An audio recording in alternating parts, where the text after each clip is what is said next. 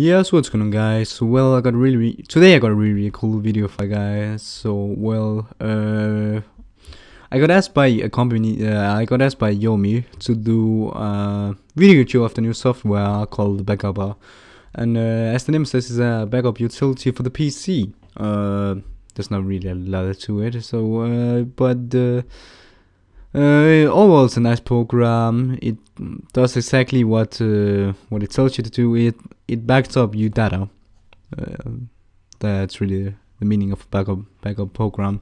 Uh, but I'm gonna take you through the program. So let's start with the setting. Sorry, uh, setting. Uh, so you can either choose compression uh, level of a backup to splitting. So let's say you're doing a larger backup and you want well, let's say you're doing splitting and then you can set uh, the size of every individual file, how large you want every individual file to be. Uh, just gonna set it back to automatic then you can do intelligent sector or do an exact copy or backup sorry and then you can do VSS which uh which you can read about in description. Uh just gonna click ok. Um but when signing up Aomei backup for the first time. The settings are gonna be pre-selected for you and uh, they these were my settings when I first launched the program. So well you do not have to worry about the settings. Just leave them alone.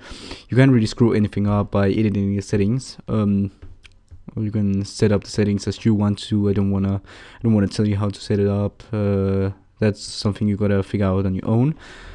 Really simple so whatever. Uh, but uh, when first starting up Aomei backup uh, you're ending up with this uh, you, you got this really sleek looking interface uh, where you get these choices backup restore clone and utilities uh, but now I'm just gonna create a new backup. So when first starting up the Aomei backup, uh, you get the uh, choice to create a new backup. When you have created new backups, they're gonna be stored here. Uh, but I'm just gonna create a new backup. Then you got your three uh, options. You can either backup a whole disk, which I'm gonna show you here. Let's say you got multiple hard drives. So this is my disk zero. Then I can copy it to an external hard drive. It's gonna copy all my partitions and and everything. Um, well, then I got partition backup where I can back up my partitions, which I'm gonna do in a bit. Uh, just click cancel. Then you got system backup where it's gonna back up your C drive. Mm, actually, that's actually a neat feature. But now we're gonna do partition partition backup. So, alright. So here I got partitions. So I can select my partitions. I'm gonna select my 3 drive, which I created for this tutorial. Then I you're gonna save somewhere and I already pre-chose the folder for this tutorial which is this folder here. This simple to do just click on the on the bar here. Select your folder and click uh, select folder.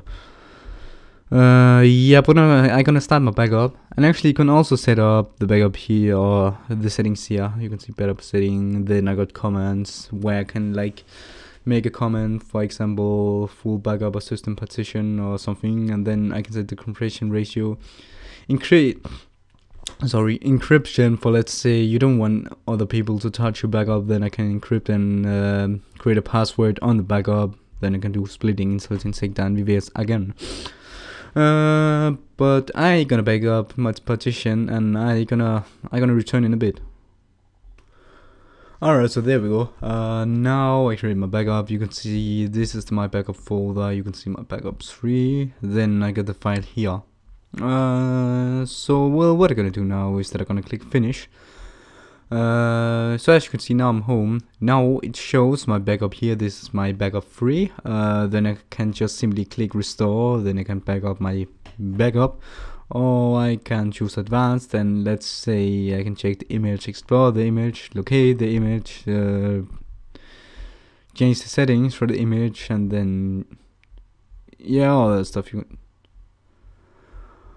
uh, alright but anyway uh, let's say now we're gonna restore now now I'm going to restore it so also that. I just gonna click restore of course then I gonna click on full backup or whatever I called it and then I well then I'm gonna choose the disk I really then I'm gonna choose the disk I want to restore the, and this is the only disk I got the possibility to restore right now.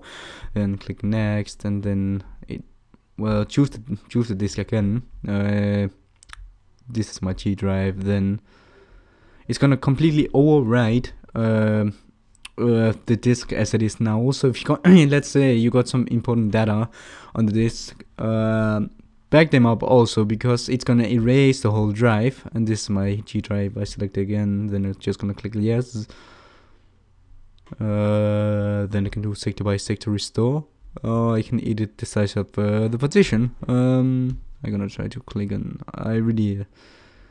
Yeah, this is the maximum size of the partition as you can see 2.93 uh anyway i gonna i gonna restore it uh, then i again gonna return after restore it uh, restored did. Alright so it's close to be done uh, alright so the operation has been completely successful. Then just gonna finish and then you can see now I backed up my uh, my uh, partition so now I'm just gonna lead it by clicking advanced delete backup and delete, and click on delete both the backup task and its image files. That's what I'm gonna do now. You can uh, um all right so now you can either choose to clone a partition. So let's say I want to I want to clone the G drive to something like the Z drive. I can do that also. Uh, I can clone a disk. Let's say I got the, my disk 0 here and I got another um, hard disk then I can clone my disk 0 to my disk 1 or something.